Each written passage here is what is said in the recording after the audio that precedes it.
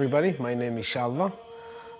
We were born in in music, in Georgian folk music and city music. And I also have to thank my mother uh, for that, uh, because uh, age of four, uh, she taught me how to play uh, panduri, which is the three-string instrument. Uh, and um, she taught me how to sing um, one of the songs of Hamlet Gonashvili, one of my favorite ones. Um, I don't know what kind of job I did then, but uh, music kind of became a big part of um, my personality too. Where it drove me into Canada, and then I also found my um, another half that I share my wonderful life with, and I'm thankful for that. And that's because of music. There you go.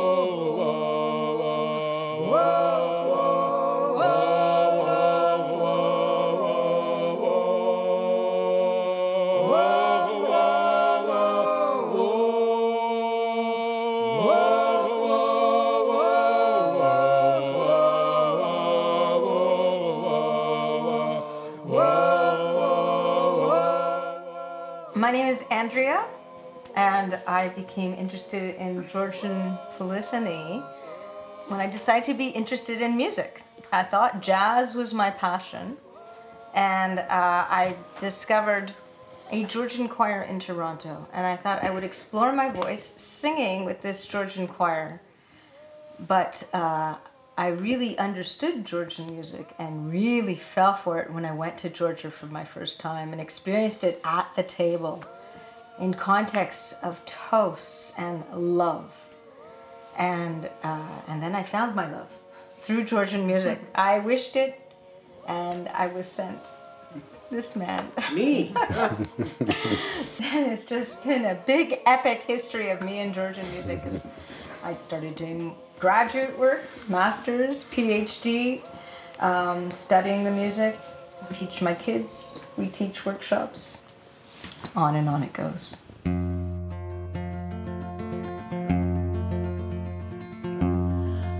ნუ რაფერს მეტყვი მიმღერე რომ გამიხდეთ დანასიარი ნუ რაფერს მეტყვი მიმღერე სანამ არ არის გვიანი პირველად იყო სიმღერა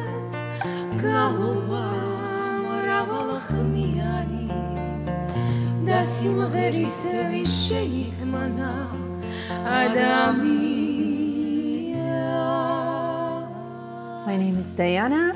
I was born in Georgia, where everybody sings, and since I remember myself, I hear Georgian polyphonic songs, and uh, also in my family, I remember Supra. Uh, Supra is a Georgian feast, so my mother always had very interesting guests, musicians, movie directors, actors, and it was so interesting listening them and this heartwarming toasts uh, followed by poems and beautiful songs. So I grew up with that. So it's thanks to my mother.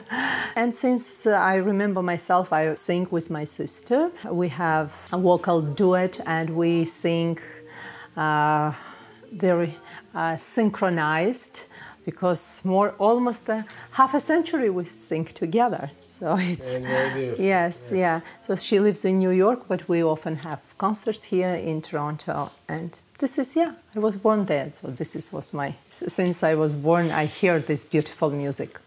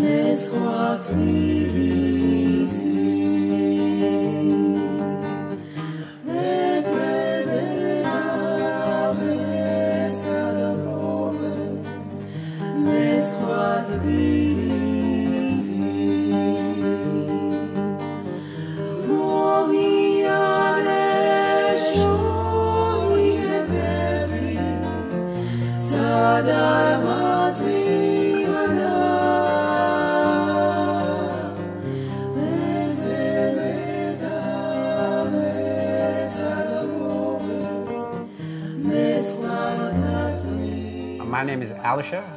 I became interested in Georgian culture and music, specifically music, uh, when I met uh, my future wife, Diana, uh, in New York. Uh, so uh, the first time, uh, you know, I listened, she performed with her sister. It was a Georgian duet, and I fell in love with that. And since then, I kind of slowly, slowly uh, evolve into uh, more listening to polyphonic folklore stuff. We moved into uh, Canada in 2004 uh, from New York. Yeah, the reason we chose Toronto because Diana had relatives here, uh, her aunt. And also so. these tragic events of September 11. Right. We did not feel safe there, and we decided to move. Uh, my husband, he applied as a skilled worker, and we received in a few months, we received permanent residency, and we moved. So it was the right decision to move here because, yeah.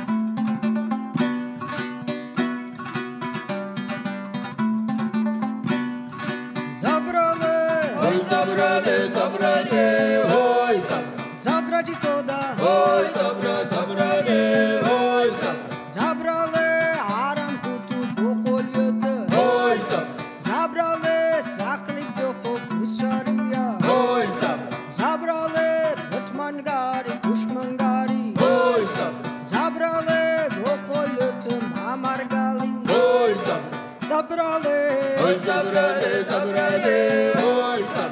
Zabrać soda, oj zabra, zabrane, oj sam. Zabrale, mutuşkim da vamam kwale, oj sam. Zabrale, koç vamam po mama kwale, oj sam. Zabrale, sodgami It was very different for me uh, to leave uh, a country that you spent 21 years uh, that culture and absolutely move to somewhere else where um, people are so different. Um, I can't say that it was cold and warmth. I, I was really lost, you know, like all of us, uh, because it was a language barrier. We had no friends. You know, before we um, uh, turned around, uh, per se, you know, to, to, to see what was going on, uh, one of our friends um, um, introduced us to choir Darbazi. It's the same people that um, Alisher and Diana talked about. Yep. Uh, good singers, Canadian people, very good-hearted. They, they stood beside us. They, they made me feel so warm and welcome in this country that uh, I, think th I think those were people who, who made me to love this country. You know what I mean? Then, then I saw everything in a different way. You know, Georgian will always will be with me, but, but I don't live in Georgia today. I live here and I took all the goodness that this country can offer.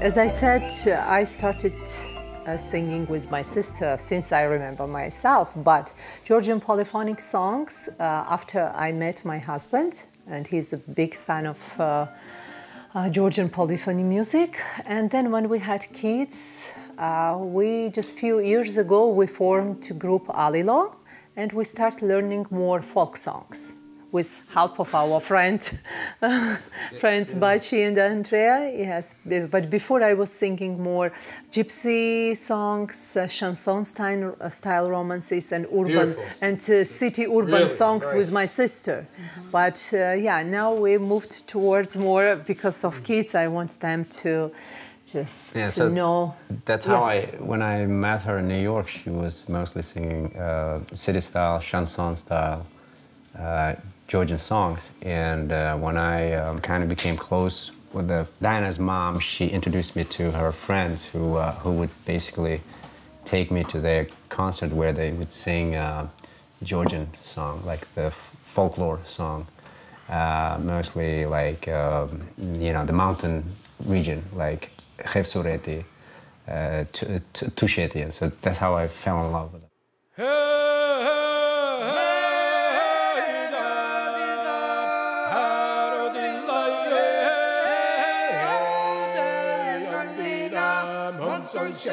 tallevi Conto della sallevi Città scarita opera Sicchi de moghe pare via Havina Haro de la Sull'armo val mescen zaklo scentu me argen varevi How did it change Georgian music? Georgian music has changed. Oh yes, it has to. Otherwise, it'll be dead. You know what I mean? And it changes in a way to me, and to my um, my my heart and my my cells that make me so happy when when I sing with family and friends. Is um, you change it. You you you make the change. You know, like Diana and Alisher's family sing one Mraval Jamir, which there's hundreds of versions, but it makes their own because way they sing, way they approach the notes. It's not about the notes. It's about they're listening to each other and try to complement one another, you know, singing wise. But it hasn't changed dramatically as lots of other music has. It always stayed unique. It really did, and that's the beauty of it because it doesn't change so much, but it changes so much in the same time with like one song, Logayeleta, let's say, many years, right? Ukrainians have it, Russians have it, Georgians have it, maybe other ones have it too. But it always sounds different when you sing that one song.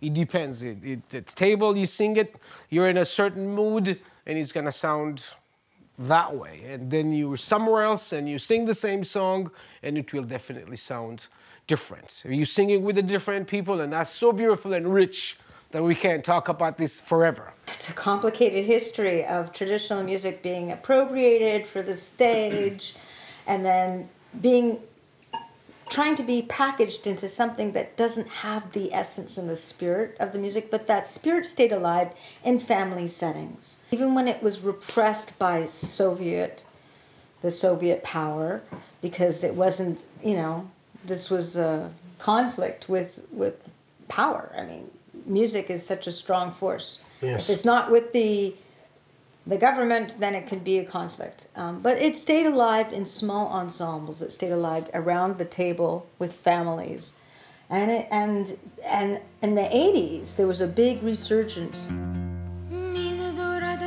შეჭერებელას თუ გამოდგება მარაო ჩამოგაფარება სახეზე გლამზის განადაგიფარაო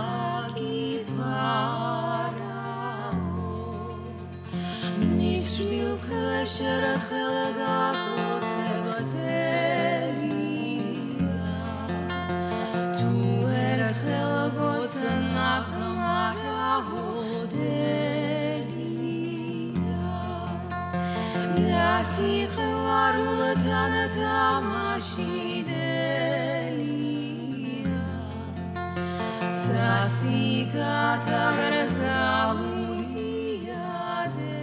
urban uh, uh, city songs.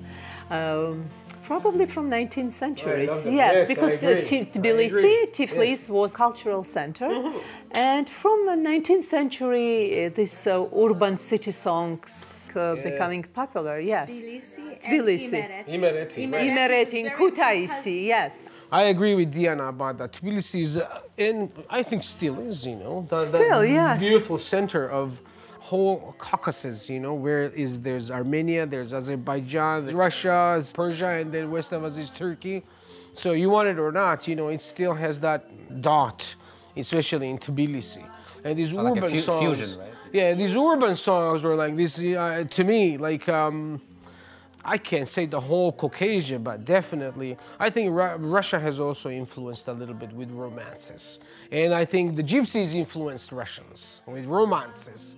And then that worked really well. And then suddenly, uh, Georgians, we love that too. I mean, and, and Diana and her sister, I'll tell you, uh, one of the best that I've heard uh, doing actually uh, city songs to me. And I'm not saying that because I love them, no.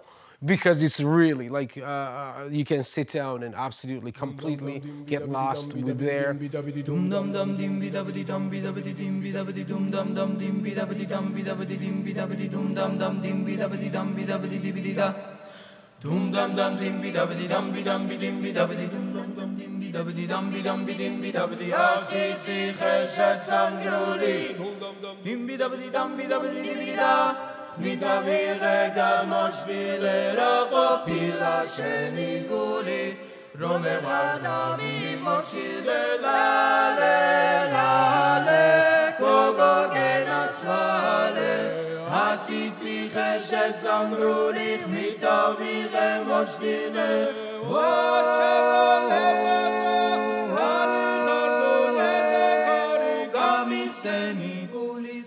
When I came to this country, cultural difference was huge, you know, huge, and that, that was a big impact. And I didn't want to be that way because I knew that I respected, uh, and I still do, like always have other people's cultures. I do. It's not just Georgian music I listen to. Uh, God forbid, no.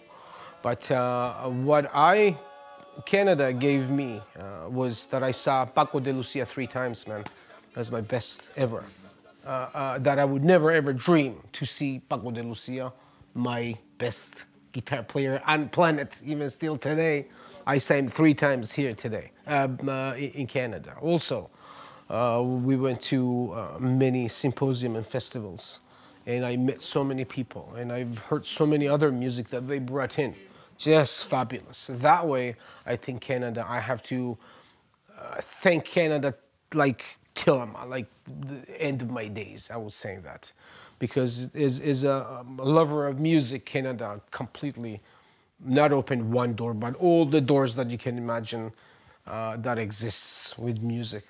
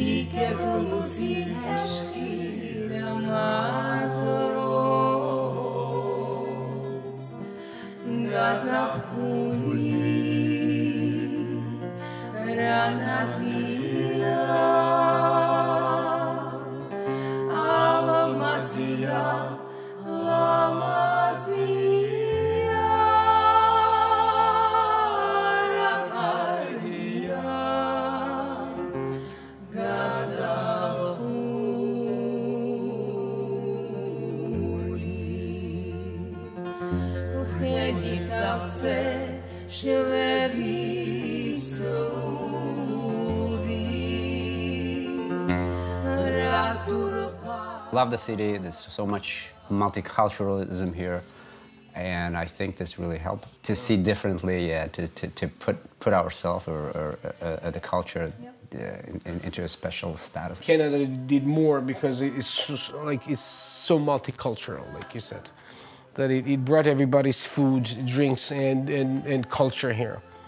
So yeah, I'm very thankful and grateful. I really am because it helped me as a person uh, to live better. You know, like with myself first of all.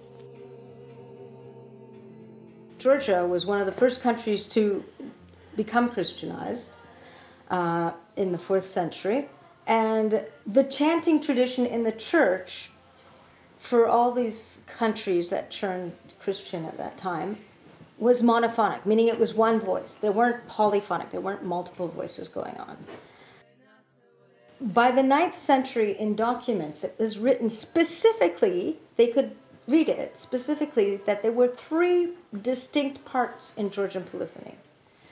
So they assume, in Georgian chanting, that is, so they assume that this was an influence from an indigenous polyphonic tradition. We have a few uh, kind of hats over there, and one comes from Svaneti. It's uh, northwestern mountains. A hat with, um, you know, little cross on top, and the and the fairy one that's actually made from uh, a sheepskin. I've seen my grandpa make that, and also something like that he would make, and also something that you could cover your Oh yeah. uh, ankles uh, in, Warm- warm, in a winter. And again, you know, that's because um, I guess um, Georgian people were self-sufficient, so they didn't have a lot of garbage to throw throw away, or when when they would uh, kill animals to eat, so they used everything and the skin or guts. My parents were uh, farmers, and each time I went to visit them, uh, my grandmother would uh, uh do the the sheep hair for days, and then she would make pillows, and then she would make uh, covers for it.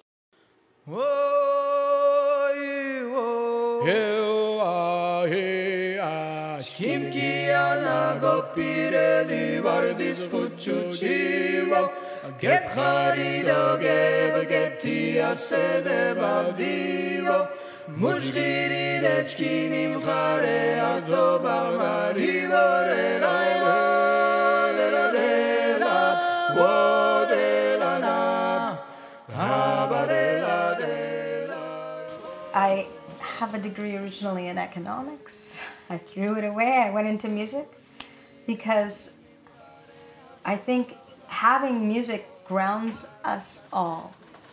It connects us. And a traditional music like Georgian music is so powerful that way because it's not too hard to sing a song. And then when you sing that song, your body's vibrating, the person beside you who's singing it as well. And then you're connected. And that you're singing this song that is thousands of years old, connects you to the thousands of people who've been singing it for thousands of years. And then, you know, then I, I can know that my children have something, something that that's more solid than the devices that Yeah. are propagating our lives today. So, uh, for me, don't say that. for me, you know, the point is really just to do music and to keep sharing music. Yeah. I don't know what the outcome of that is, except that it's going to offer an alternative and a more real, a real experience.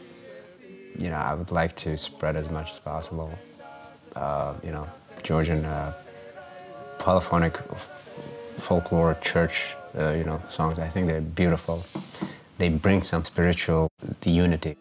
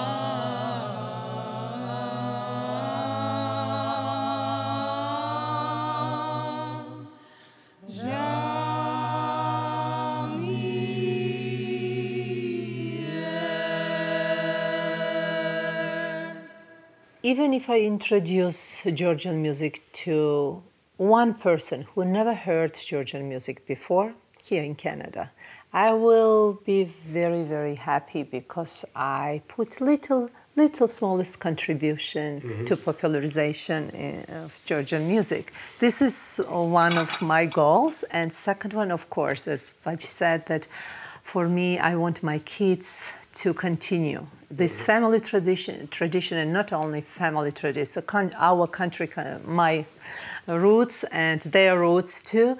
And mm-hmm. I would like them to just pass it through generations and teach their children or yes, and just visit Or Georgia friends. often Who and knows? learn more. Fr- yes, or friends. Yes, yes, yes. yes. What I want to leave behind is um, uh, something that um, someone can remember me. You know, I think that's the most that everybody wants uh, with music. I don't think I ever looked, uh, me personally, to be praised. You know, I, I, I don't think that ever was my thing. I don't think it ever will be because it makes me really uncomfortable.